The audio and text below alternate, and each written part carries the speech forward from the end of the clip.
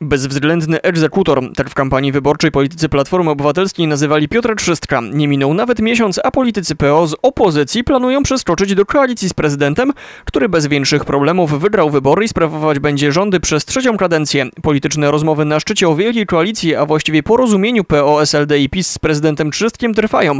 Politycy Prawa i Sprawiedliwości nie widzą przeciwwskazań, by ta koalicja została zawiązana. Nie jest naszą kompetencją dzisiaj decydowanie o tym, z kim prezydent ma rozmawiać, z kim ma nie rozmawiać. Jeśli Platforma Obywatelska o, o tym zapewniała, ma jakieś pomysły pozytywne na Szczecin, choć nie spotkaliśmy się z żadnym pozytywnym rozwiązaniem w ciągu ostatnich czterech lat, ale jeśli tak jest, jeśli ma jakiś potencjał i uważa, że ten potencjał ma, to naprawdę nic, nic w tym złego i nie będziemy absolutnie tutaj jakby warunkować naszego udziału dalej w pracy dla dobra mieszkańców naszego miasta, obecnością również w jakimś porozumieniu i, i radnych, czy też części radnych, tylko Platformy Obywatelskiej. Czy politykom w Szczecińskiej Radzie Miasta uda się wypracować ponadpolityczne porozumienie i zgodnie współpracować przez kolejne 4 lata? Jest na to szansa. Na drugi plan trzeba jednak odsunąć polityczne ambicje, a zająć się przygotowaniem spójnego programu rozwoju miasta. Dzisiejszą rzeczą najważniejszą są, są kwestie, o których mówiliśmy, te 30 kilka takich wysublimowanych jakby punktów e, naszego programu dla Szczecina i jeżeli tutaj akceptacją będą cieszyły się u prezydenta, to naprawdę jeżeli podpiszemy wtedy wszyscy jako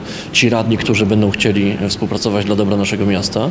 Jeżeli podpiszemy się pod tymi punktami, to, to, to nie ma mowy o żadnym działaniu dzisiaj Prawa i Sprawiedliwości w opozycji. Politycy Komitetu Prezydenckiego bezpartyjni uważają, że porozumienie PO Piotr 300 to coś naturalnego, bo ta współpraca miała już miejsce, jednak z powodu personalnych ambicji niektórych działaczy politycznych została zerwana. Stanisław Gawłowski nazywa to dziś historycznym błędem. Bezpartyjni więc oczekują porozumienia i dobrej współpracy.